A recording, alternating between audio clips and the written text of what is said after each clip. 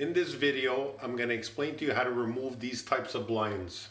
Can you show this blind, please?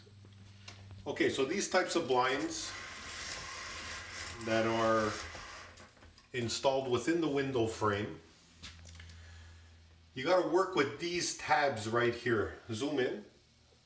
You see this little tab right here? You see it? You got it? Yeah. Good. So this little tab Can I zoom out? No. No, you can keep it in. What you want to do is you want to stick something small right in there and you want to move it to the right. There it is. See it comes off just to the right there. And then you can get the other one here and just get something small in. Be careful not to damage the blind. There we go.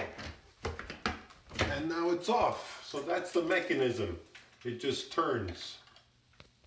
And you're done. Thanks.